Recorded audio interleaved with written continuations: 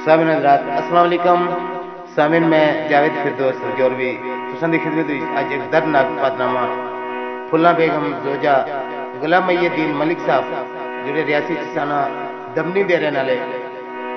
दा तो एक दर्दनाक पदनामा लेके पेश हाँ। सामिन इसकी फरमाइश कर रहे ने ड्राइवर मोहम्मद सलीम साहब, ड्राइवर मुख्तार मलिक साहब, ड्राइवर शौकत मलिक साहब, अब्दुल कयूम ते शरीफा बेगम। तो सुनो सामिन, एक बहुत ही दर्दनाक पदनामा